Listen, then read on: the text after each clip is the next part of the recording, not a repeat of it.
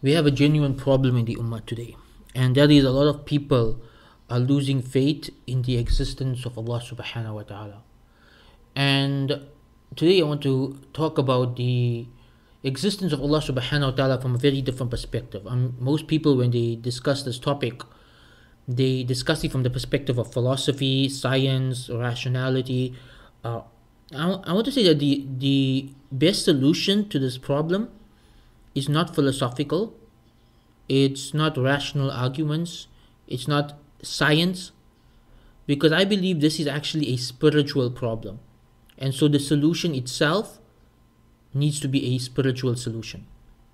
Now, why do I say this? I say this because I have found that in the majority of cases where someone loses faith in the existence of Allah subhanahu wa ta'ala, all of these cases had the same thing in common. And that is a lack of what we call in Arabic, in, in spirituality and tazkiyah, ta'alluq ma'allah. A lack of attachment to Allah subhanahu wa ta'ala.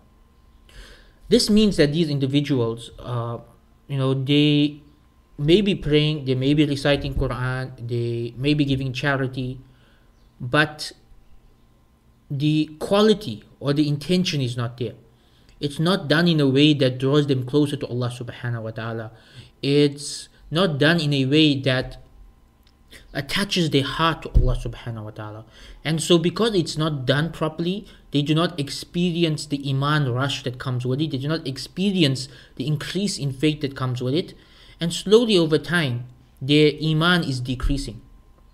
And so this is why I say this is a spiritual problem. The other reason why I say that this is a spiritual problem is that anybody who has at any point in their life reached a high in iman and experienced something amazing from Allah subhanahu wa ta'ala, then that person will not ever, this is my personal view, such a person would not ever, if they're able to maintain this, uh, experience doubt in the existence of Allah subhanahu wa ta'ala. What do I mean by this? I mean someone who had a dua answered. I'm not just talking about any dua. You were making dua for something that people said was impossible. But you made dua and Allah answered your dua. Someone who experienced that is never going to deny the existence of Allah or even doubt it. If you experienced a karamat, a miracle, you are not going to even doubt in the slightest the existence of Allah subhanahu wa ta'ala. If you experienced a true dream, you will never doubt the existence of Allah subhanahu wa ta'ala.